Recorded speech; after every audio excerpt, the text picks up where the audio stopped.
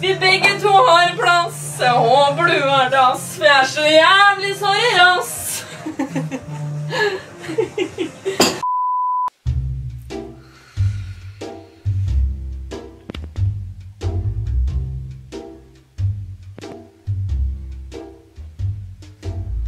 Yes, jeg har fått solgt begge disse to her. Eller nesten den ene, for den ene står her. Ok, la meg bare si noe. Jeg har brukt ca. 30 minutter på å få den som sto der nederst, dit. Jeg måtte dra helt Ok, dritten er blytung. Jeg tror jeg brukte 10 minutter på å få den bort Altså, jeg er så svak, det er flaut. Men jeg brukte ca. 10 minutter på å dra den bort hit. Så kom jeg over den helvetes dumpa der, og det som er så dritt, det er at de beina her, de er løse. Eller noen av de er løse. Så den ene, eller de to fremste her, drev og falt av hele tiden. Som vil si at den her ble helt sånn skeiv, og så gikk alle disse her inn i veggen. Og jeg strever rundt her alene og prøver å dytte opp den her samtidig som jeg skal prøve å sette på den der driten der. Og så må jeg legge meg på gulvet, for jeg får ikke de der, for det er sånne hull i den grå der som stikker opp, sånn at den treffer noen hull under kommoden. Så jeg måtte ligge, og jeg har enda ikke fått det til. Så jeg har bedt Ole om må komme fra der han bor, som tar ca. 40 min, for å komme og hjelpe meg å sette på plass beina, fordi jeg klarer det ikke sjøl. Og jeg bare kjente frustrasjon, aggresjon og alt bare. Og jeg grein i fortvilelse, for jeg var så svett og varm, og det klødde, jeg bare ville få den, jeg ville bare få den dritten her ut av livet mitt. Ellers så er det ganske bra. Så jeg får solgt den jævla driten der i morgen. Jeg har enda ikke fått solgt senga mi. Det er tirsdag, og jeg vet ikke hva jeg skal gjøre. Hvis det er ingen som kjøper den, så er jeg bare nødt til å kaste hele dritten. Men det blir ekstra jobb. Åh. Så hvor jeg skal ha klærne mine i mellomtiden er jeg litt usikker på. Det jeg tenkte jeg skulle gjøre, var å finne fram klær til i morgen, torsdag og fredag, og så pakker jeg vekk resten. Rett og slett. Camilla har dratt til Namsos og kommer tilbake i morgen kveld, så da skal vi vaske hele leiligheten hele morgen, eller hele morgenkveld. Jeg kommer jo hjem ganske sent i morgen, for jeg skal på et møte, kommer jeg på nå. Og hele torsdag går til vask. Vask, vask, vask. Det er så sinnssykt mye greier igjen at jeg blir stressa, men dette klarer vi. Vi er to kvinner, er det noe vi kan, er å vaske.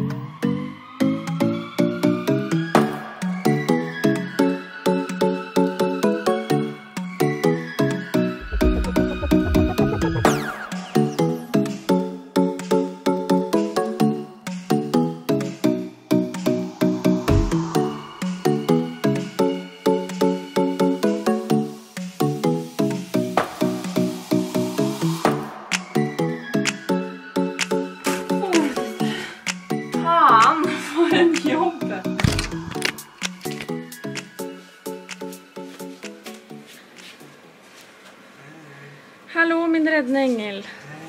Hei. Kommer rett fra eksamen til deg. Så deilig. Ja. Hvordan føles det å være ferdig? Nei, nå er det bare én eksamen igjen på agendaen, så jeg gleder meg skikkelig til å bli ferdig. Ja, folkens, nå er det virkelig ikke lenge til Nelly tar sine bein til den nye leiligheten. Du orker ikke å bo nede i kjelleren mer. Hun trenger store og fine vinduer og svarte og hvite møbler, og hun gleder seg noe sinnssykt. Gjør du ikke det? Å ja, den hadde flytta seg opp dit, ja.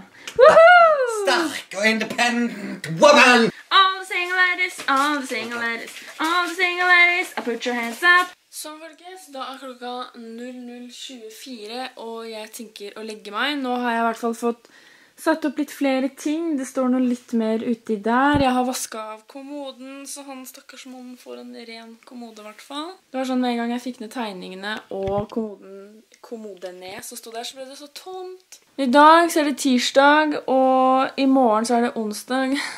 Og i morgen så skal jeg være på kontoret fra 11 til halv tre. Og klokka tre så skal jeg være ved Oslo S, og så skal jeg sette på vipper. Og etter det så skal jeg hjem.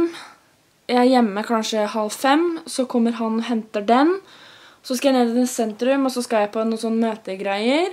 Så er ikke jeg hjemme før sånn halv ni. Og så kommer Camilla ish rundt der, og da skal vi prøve å rydde og vaske litt. Det er ikke sikkert vi orker, og så må vi bare hardkjøre på torsdag. Jeg vet at det har vært et veldig stort gap mellom de forrige flyttevloggene og den her, men det er basically fordi at jeg ville hatt ting her så lenge som mulig. For det er så jævlig kjipt å liksom ha bodd sånn her. Tenk om jeg hadde bodd sånn her i to uker. Det hadde vært veldig kjedelig. Så nå skal jeg i hvert fall legge meg. Begynner å føle meg litt sånn uggen i magen, så jeg tenker at eh, jeg hopper til sengs, og så håper jeg at eh, magen er bedre i morgen. Men jeg kommer i hvert fall til å vlogge i morgen. Jeg tror jeg kommer til å vlogge i morgen. Jeg er litt usikker. Hvis ikke, så Ja, men for dere så blir det bare et knips uansett. Men vi ser hvor jeg ender opp. God morgen. Klokka er 11 nå, og dagen før flytting. Hvis det synes på kamera, så er jeg veldig rød på det ene øyet fordi jeg bare tok vipper i går, og det svei. Eh, og så har jeg en krise på nesa. Eh, Så det er ikke snørr. Kunne vært det, men det er ikke det. Yes! eh, Jeg er litt sånn småirritert, for at eh, jeg la ut senga mi for salg. Og så var det en som bare 'Jeg gir deg 100 kroner'. Jeg bare You're so rude. Så jeg bare nei. Punktum. Han som skulle kjøpe kommoden, jo, han la jo seg faen ikke høre fra. Så jeg er mildt sagt eh, stressa og irritert. Fordi jeg har to store ting jeg ikke skal ha med i den nye leiligheten, som fremdeles står her. Og jeg bare ha det vekk. Camilla var nettopp innom rommet her, og vi har lagt en slagplan over hvordan vi skal rydde og vaske leiligheten. Vi kommer jo i gang ganske seint i morgen, men det er chill, siden de folka som skal flytte inn, ikke flytter inn før om to uker. Eh, så planen er at vi skal ta hele leiligheten, altså, eller ja, kjøkkenet og badet. Det er resten av leiligheten. Og så skal vi bare shine det og vaske ferdig det. Og så tar jeg og rydder og drar over litt vegger her sånn i dag på rommet mitt. Og så setter jeg ut alle møblene mine, eller alle tingene mine, tidlig i morgen. Og så tar jeg rommet mitt før jeg drar på Ikea, sånn at når jeg og Tonje kommer tilbake, så står alt klart, alt er klart. Jeg kan levere nøkler og For vi har bare leiebilen fra fem til ti. Vi har den i seks timer. Fem timer. Wow.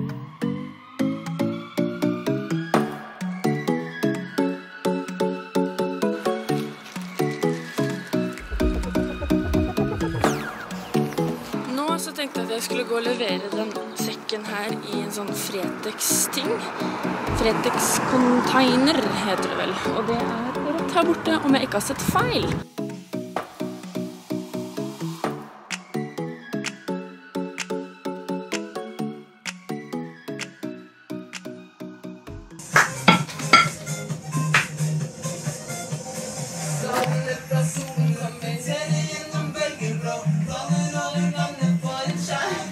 Kan jo ikke sangen engang!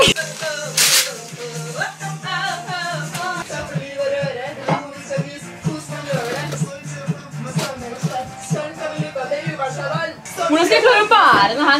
Det er drittungt! Skal du ikke alle luka det uværsalarm? Ok, gå nå. Nei,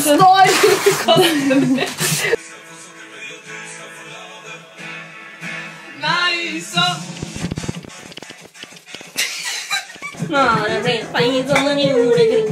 Nei.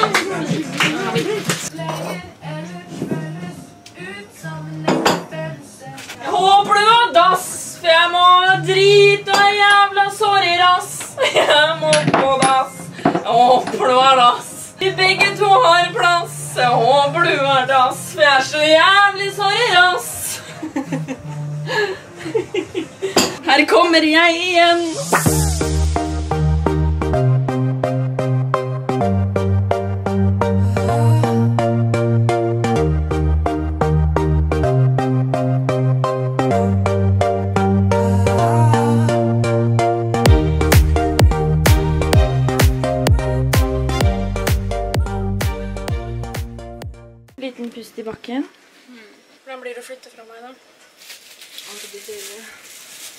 Nei, men Som vi har snakka litt om, så er det litt sånn det, For meg, da, så er det, det har ikke helt gått opp Jeg vet at jeg skal flytte, og jeg bla, bla, bla, men det har ikke helt gått opp for meg at jeg ikke skal være rundt deg hver dag, liksom. Det er barna etter to år. Og nei, vi er ikke uvenner, som alle sier. Eller alle spør om. Er dere uvenner? Er dere uvenner? Nei. Ok, jeg klarer ikke å holde den løgnen her lenger. Du betaler meg for det. Det er derfor hun ikke er med så mye vlogger, Hun har ikke så mye penger for det.